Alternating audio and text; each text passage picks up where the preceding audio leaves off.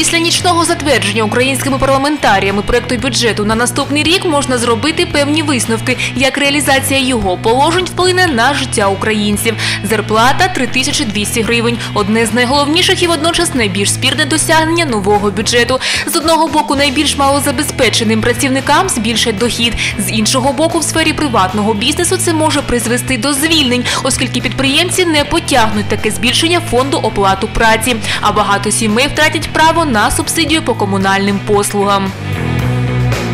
Прожитковий мінімум з 1 січня 2017 року становитиме 1544 гривні, з 1 травня – 1624, а з 1 грудня – 1700.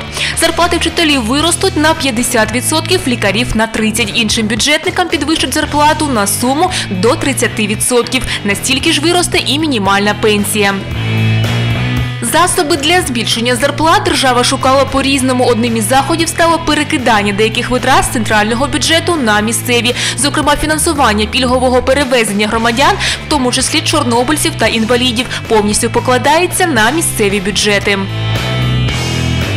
Істотну роль у новому бюджеті відіграє законопроект 5368, який прописує абсолютно новий механізм підтримки аграріїв.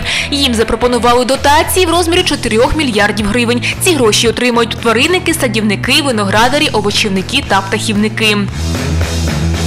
30 мільярдів гривень на розбудову доріг. Згідно з рішенням народних депутатів, Укравтодор отримає з бюджету 30 мільярдів гривень. Це майже в два рази більше, ніж в початковому варіанті бюджету.